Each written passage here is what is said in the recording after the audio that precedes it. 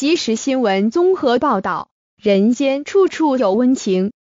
南台湾受暴雨袭击，多处传出淹水灾情。嘉义一位林姓烘焙师昨天二十四日把面包都拿出来送给有需要的民众，一名女网友更是把外传出去，特地跋涉把面包交给独居老人。该名善心面包师傅在嘉义县鹿草乡脸书社团 PO 文表示。阿宇手工烘焙坊今日只送不卖，有需要的自取。从照片中可以看到一箱箱的面包全供民众领取，过没几个小时全数都发送完毕。许多人都直呼谢谢老板，因为露草当天真的很难买到东西吃。有女网友看到消息后，想到与嘉义露草乡相邻的台南后壁区小村庄内有两个独居老人没人照顾。专程拿了面包送过去，并回报给老板，让林姓烘焙师也大赞感谢有你。事后有人透露女网友的跋涉过程，